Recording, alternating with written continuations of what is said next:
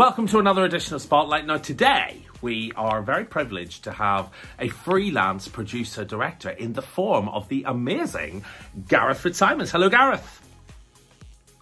Hello, Brendan. Good to see you, and uh, glad to be a guest on this uh, now infamous, or should I say, famous spotlight. And uh, hopefully, I uh, can pass on some decent information when I'm here. Oh well, it's, it's, it's amazing. Thank you. Tell us a little bit about your route into television. How did you get from being a student to where you are today? I always knew that I would like to get into media someday. I was always interested in the art of writing and English at school and um, always thought I would uh, like to be a journalist because I was told my writing skills were quite good. Um, I left school after GCSEs and after a little bit of A levels, I decided that wasn't the route for me and to become more practical. So I did the what was called a BTEC back in the day. I think it's called a GNVQ nowadays, um, in media, journalism, and photography for two years. And then I started a course in Belfast which was called eForce Media, which was a year uh, course, 12 months, and you get paid to do it. So I thought that around 18, 19, happy days, this will do me. And the biggest pull about it was that you did four months in house learning journalism, uh, radio, and also television. And for the other eight months, you were given a placement in somewhere like the BBC or UTV, Ulster Television, which is over here, the subsidiary of ITV. And I thought, fantastic way to get in then, because um, I'd heard great reports about it. Now, the timing, uh, I believe that everything in life is about timing. And the ceasefire in Belfast in Ireland, and Northern Ireland, I should say, kicked in in 1994. And there was an initiative called Border Vision that came about, and six students from Derry, six students from Belfast, and six students, 18 in total, um, one for, uh, sorry, the others from Dublin, were picked to learn the art of filmmaking. So I got to go off for a year and got taught by Roddy Doyle how to write scripts and things like that and get tips off famous producers. So I went down the line of filmmaking in 16 mil for a year and a half, two years, producing short films and learning how to edit. Um, I then was about to move to LA to try and break into the filmmaking world. And I was living in Belfast for a year, getting the money together to go and do that on a one way ticket. Um, when I saw an advert for BBC Northern Ireland, and it was um, two disability placements, funny enough, for 12 weeks. Um, so three months, and I thought I could do this because I'm deaf in one ear, fully deaf in my right ear from meningitis as a child. So that's seen as a disability. So I went for the interview and I got accepted for the 12 week placement. And one was for news and one was for sport. And I had been lucky enough to use the first Avid editing machine that came into Ireland um, on another course I was doing, and uh, the little company had been given a, a, bit of money, and they bought invested in Avid. So I taught myself how to use Avid when it was in there, and I mentioned this during the interview with the BBC, and they said, "Oh, Avid," because the forerunner of BBC Three. Um, at that time was called BBC Choice, I think it was, and they had to produce a show for this and had to do it on the new Avid they had bought. So uh, the boss of BBC Sport at the time, Terry Smith, brought me in and straight away in those 12 weeks, and during that placement window, I was then editing programs for broadcast already. And that was like, okay, then uh, he can do this. So that 12 week placement turned into a 20 year career in the BBC. did you have a particular, when you were in the BBC, did you have a particular job, i.e., either producing or either directing or either editing, that you really liked and really excelled at? Well, editing came naturally to me, and I think my whole family are musical. Um, and I wasn't. I never picked up an instrument, but I believe that um, they have a sense of timing, but to play music, um, and that sense of timing was lent to me in editing. Um, so I knew that when when to cut shots, etc. I was allowed because I was a broadcast assistant to work on a range of programming, and I did a bit of radio presenting uh, and features, and then I made a few features for a uh, a couple of big programs and edited them, and they really enjoyed those. And from there, I worked on the Saturday show uh, called Final Score, which you'll see on BBC Network every um, Saturday afternoon. And there was always one feature football match, and they would send me out to direct two cameras through a satellite news gathering vehicle, and one went back into the building. So it was two cameras, and they threw me at it, and I enjoyed it. And the boss said, "Look, you make uh, two cameras look like four, which is a great thing to be able to do." And one day I was up working at a OB um, with five or six cameras and a, a sporting event um, during the summer, and the person, the director, felt sick, and they were in a panic, and the boss went, "You jump in there," this sort of thing. And the way I saw it was, I played a lot of computer games, and surely it's just pressing the right buttons in the right order. And I stepped into this massive outside broadcast truck, and it was like the control deck of the Starship Enterprise. it was like, oh my god, right, sit in this chair, and I just fitted. I just knew it was for me. Um, I had no fear. I, I had respect for it, but I was uh, give me it, you know, and I rocked it. Basically, I nailed it, and um, it went from there. And they threw me at bigger and bigger things, and then I knew that directing really and multi-camera directing was was the biggest buzz for me and what I wanted to do. So we spoke to Michael Bryant, who's obviously a multi-camera TV director, but he is um, in drama. So everything is scripted and everything, and he can he's got time to form pictures in his head and all that. But from your yours is slightly different because yours is completely doing it by what my mentors used to call doing it by the seat of your pants. Um, so what? Yes. So tell us about that experience. Actually, how do you prep for a big sporting event, knowing that there's no script? Uh, how do you do that? Because it was the BBC and they do things differently from commercial. I've done Sky uh, Sports. I've done Channel Four, ITV there last year. I did World Cup Rugby for ITV, uh, Women's World Cup Rugby. And they're all work different. But with the BBC, if you're a director, you have to vision mix your own stuff. I was never taught how to vision mix, I taught myself. But also, if you're doing an outside broadcast, you're also the studio director as well as the match or event director. So the, you will know what a running order is. And so if we had a three hour show, I would be on air for half an hour with studio output first, then the match, say, and then the halftime studio analysis and debate, and then the second half of the match, and then studio debate. So some bits are scripted, and you'll have cut features, etc., um, that you would drop in. So, and then I always enjoyed getting to the match because you can make it up as you go along then and doing it on the fly. So to prepare as such, you obviously would know your script and you go through rehearsals, etc., beforehand and work with the presenter on bits of script to say what shot would work coming in and out of this piece of uh, uh, footage or program slug, as we call them. But with the game itself, if say I was working on a sport, it might be international rugby. I directed international rugby and it was Ireland versus Italy, and I knew none of the Italian players, but I knew that commentators would be calling their names, etc., and I would have to call the shot. I know who he's talking about. So you familiarize yourself, so you print out um, little head pictures of each player, so you knew what they looked like, etc., etc., or who the uh, opposing manager and their team, etc., would be, so you had a visual reference to them.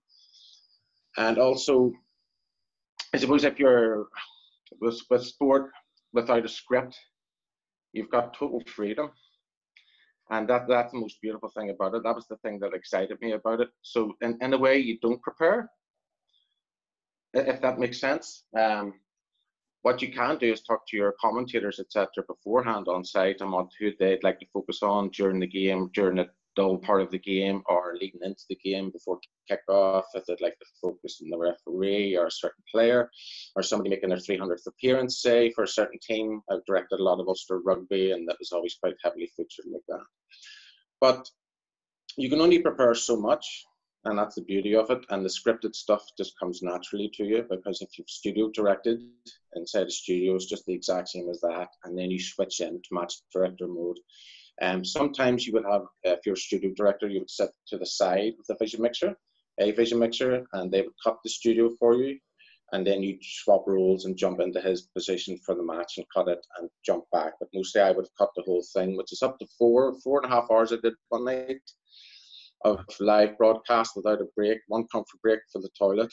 Um, so it's a lot of concentration. So uh, when you do get tired, you tend to sit in camera one a lot and give yourself a breather because the human mind can only really focus for 10 minutes at a time. You've got to realize that. So you've got to build in time as well.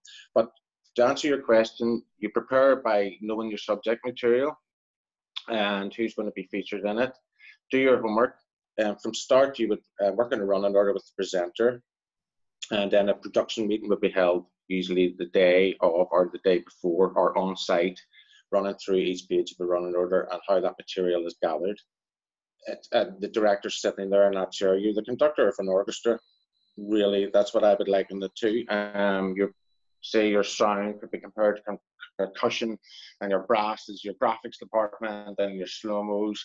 So you've got all these different elements that you need to bring together as one and put it out through the master channel as seamless. And uh, that's not as easy as it sounds.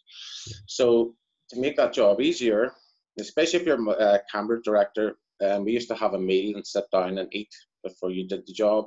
And I would always sit with the camera crew and go and especially if there was new camera crew sitting there or being uh, brought in and decide what they want out of it, what we're going to aim for tonight. Say, I always just have a little bit of fun with them, you know, and say it was Valentine's, whoever gets the best couple kissing shot, that type of thing, gives them something to aim for, you know.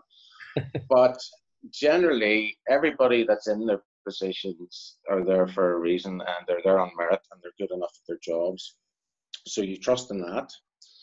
But as I say, bringing it all together is, is there is a certain mind to the production. It'll have a certain style, and it's up to you to deliver that, but also to put your own style on it.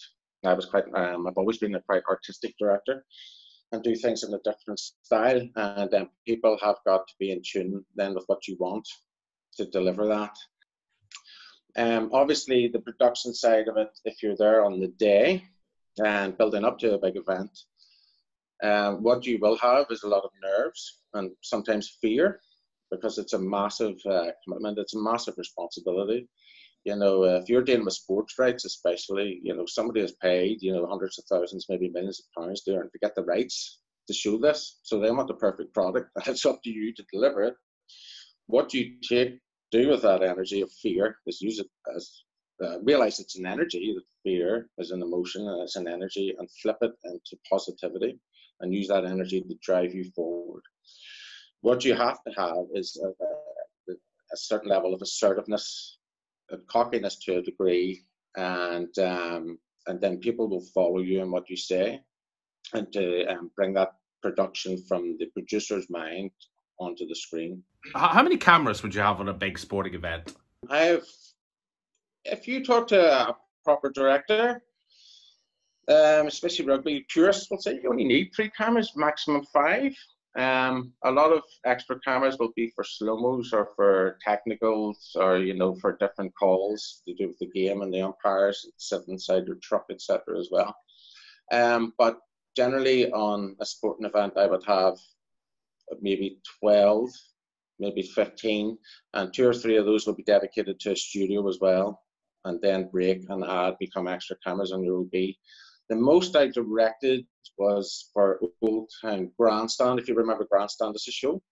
And it was ice hockey because the Belfast Giants had got to their first final in Belfast. Um, so they decided, oh, well, you'll direct that for us. I'd never seen ice hockey in my life, but I, I knew I was going to have 22 cameras. So I sat up. Channel 4 used to show it on uh, about one o'clock in the morning uh, during the week. So I sat up and watched it and got my head around it. So 22 live cameras. So you're sitting in front of your and you see a bank of screens, and there's 22 live inputs. And that's not to mention your five slow-mo inputs, your three graphics inputs, and your world feed that you might be looking after as well. That's another conversation. But um, so you might be looking at, and to, that day I was looking at maybe 40 screens that were relevant to me. Wow. So uh, what you do then is prioritize and think these are the main cameras I need here and these are the superfluous ones. And here's where I use the beauty cameras. Some are locked off as safeties, etc., etc. Um, so you can have it can be quite daunting. So if you imagine, I'm sure your students can imagine um, a production deck. So you've got your main output, which is PP, and then your preview buttons, and you have two main screens in the middle, and that's all you're worried about. One is what's coming up next, and one is what's going out live. And don't mix the two up. but uh, that's easy done. Um, it's just whatever preference is your style, but people usually work left to right. But um, so you, that's your main focus. Cover the action, don't miss anything, and remember your first your main cameras are one, two, and three. So your first one will be your establishing wide shot, your safety net basically. Your second camera will be for personalities, and your third one's for art and close-ups, etc. And the other ones, then you work in around that. And once you're comfortable within the OB, you start to use the extra cameras. Or the um, if you have that many cameras, don't be afraid to use your uh, production assistant or your producer who's maybe beside you and say, camera eight's got a great shot because it might be out of your eye line and use it. Or if they're talking about somebody, the commentators, and you don't have them in shot, but it's in camera 15, you know, somebody else might spot that, so they'll give you a nudge 15, 15. So, you know, that's it. Um, so the way to handle it and not be overwhelmed by it is remember if you might have 20 cameras, but you don't have to use them all, mm. you know, you, that's it. Every every cut you make should have a reason. You you talked about art, and you know you say um, that you have an artistic style. Uh, that that's interesting. Mm-hmm. That's interesting coming from a sports sort of director. I've never heard that before. What how, what form does your art, art take on screen? I would have a whole feel for the program. As I say, I used to have the input of all the BTs, etc., etc., into it. But with sport, there is something called you know a pace and a flow. And if you have a fast bit of action going on in front of you, a very high pitch, fast, frenetic game, your cutting will reflect that. So you will cut quickly, and that injects energy and covers that. It's also reflects the pace of the action that you're seeing if you've got a slow game, you can try and speed it up and add a bit of life to it by cutting quicker, etc. But say you're at a sporting event and it's often say a one minute silence for some person that has died or passed away. That's a totally different style of cutting. So you're doing slow dissolves, then hands joined together, faces and crowds, nice close ups. My trick that I used um, I use slow dissolves. I would get camera three to pick up a nice, um, say, big, big close up. Say somebody's gone through a lot of pressure. Well, then you want to see their eyes. If they're under pressure, zoom right into their face, get their eyes. When I'm at Wimbledon doing a high uh, pressure tennis match, and it's a person serving to stay in the semi final, say, really and truly. And so you, you want to see that. And the way to do that is get into the eyes and see what's going on between um, in the grey matter. But slow dissolves, or if um, say a bit of art would be well, the parents of that person is in the crowd, and I would have found that out before and picked them out. So I'll cram myself and get to that. So you know, you go to their mum in the crowd something like this. Yeah. You know, commentator can work off that.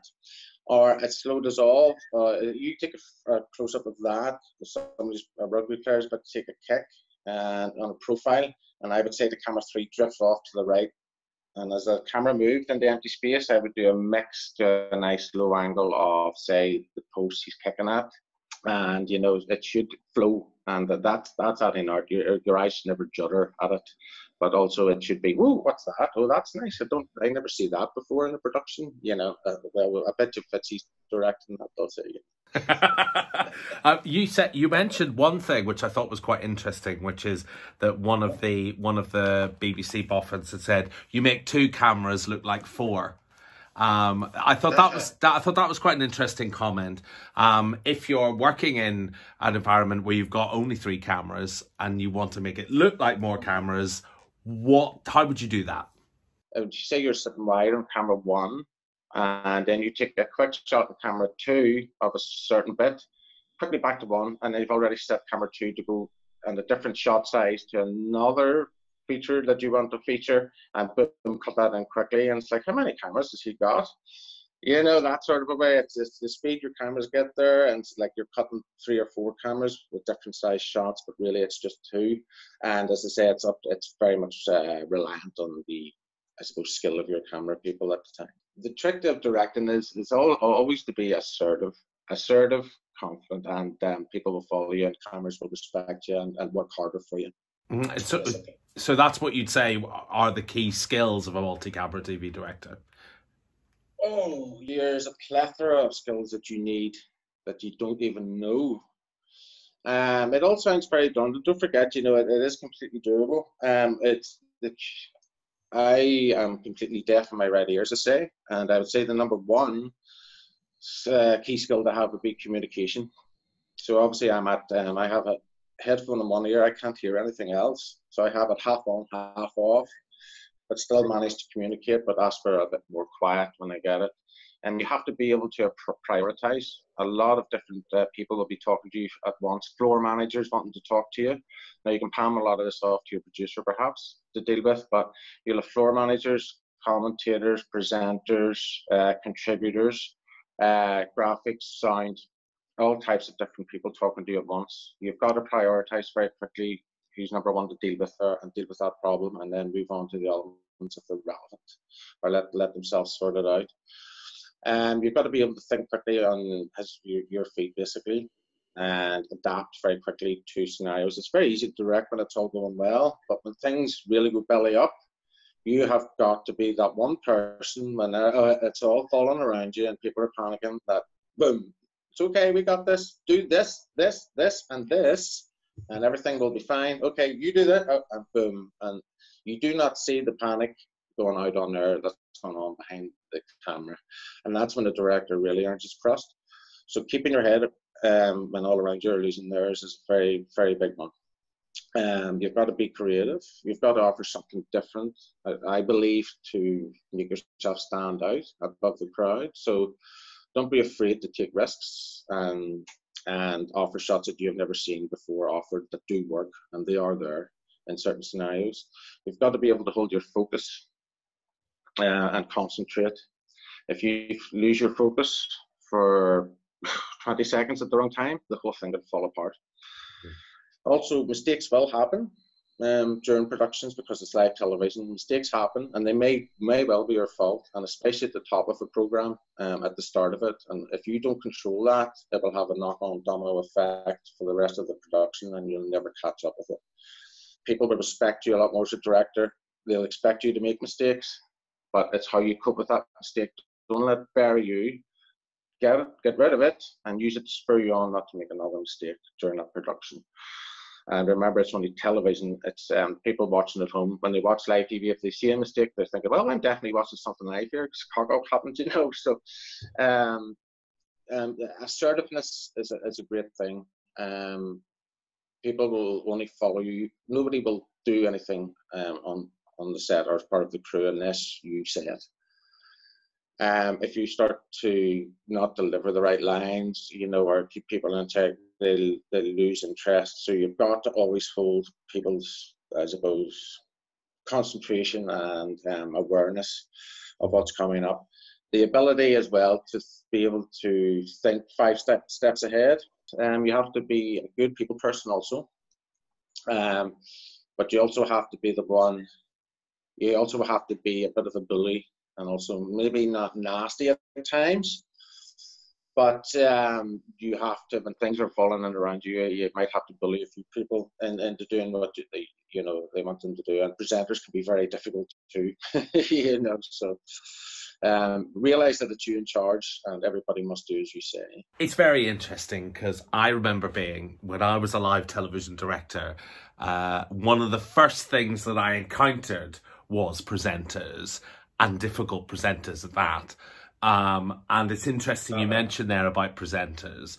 Um, in obviously in the lives of the students, when they start becoming directors, they're going to encounter talent very quickly. Um, what yes. what would you say are your top tips with directing talent, and in particular, if you encounter sort of it's very easy when you get ta- a, a, talent that you know is going to listen to you and going to give you yeah. their opinions. That's wonderful when that happens. But in my experience, there are a number of people who, you know, feel it's their show, don't talk to me, you know, I don't, I'm not interested. So how do you deal with uh, talent? What would you say would be some of the things they need to watch out for? When I first encountered difficult presenters, um, I would say egos. uh, presenters often think they're the producer and director as well, and um, they need to, to listen to you. But generally, before the production, if you've never worked with this person before, a presenter or talent, it could be a commentator, it could be a uh, you know a guest, a studio guest, or it could be you know a contributor that's uh, working with you on the sideline. Um, uh, basically, go and introduce yourself and say, "I'm such and such." You know, I'm a great fan of your work. Bring them up. Yeah, for certain, for certain, pick them up. Yeah, nothing wrong with that. Everyone loves being flattered. And if you want to try something different with them or you have an idea, come to them with a good idea and say, what about, say, if we do the opening link? It's always a great, um, the opening link to your program is always a great area to show some creativity and to set up the top of your show and the feel of it, and everything follows from there. So maybe offer a different slant than what they're thinking, but something that's really good that they might like. Okay, we'll try that. We'll do two versions. We'll do your version. We'll do my version. And then a producer might say, "Oh, I like this version that you've sort of said." Oh, the presenter will go grudgingly, begrudgingly. Oh, okay, we'll try that. And maybe the, the presenters always watch their output back. A lot of directors do too. They might look at it and go, "Actually, that worked. He knows what he's talking. He or she knows what he's talking about." You know, um, and that's that's a good help. But if you're struggling under the weight of it, and I've been there myself, and I've had slagging matches over talkback with presenters, you know, it does happen. Um, you know, just sit there and do what you're told. uh, it's um, positive producer. That's what they're there for. The producer can then speak. You know, you know, if you if you're having an issue, but generally try and get along with them, but offer something to them and try and earn their respect. So, what then is the best bit of the job? Um, it's the buzz of it really, and you know you're being at these amazing events, and you're you're the one deciding what goes out there. The last time I directed at Wimbledon, I was live on BBC One. It was the Serena and Venus Williams were playing um, uh, mixed or doubles, mixed doubles. So they're playing against each other on the show court, and I was I was lucky enough to have it. And I had real cameras and tracking cameras and cameras 300 feet in the sky, all sorts there and BBC One just come through. Go, this is Network. We're taking you for the next half an hour to one o'clock news. I'm like, okay, everybody, don't say, you know, it's uh, uh, okay. We're live on BBC One here, so what's your p's and q's for the commentators and cameras? Be on point, you know, and everyone on point, and you sharp. And again, then um, millions watching their live. And once I come off that, my friend was behind my back watching it because he knew I would have been nervous maybe getting it.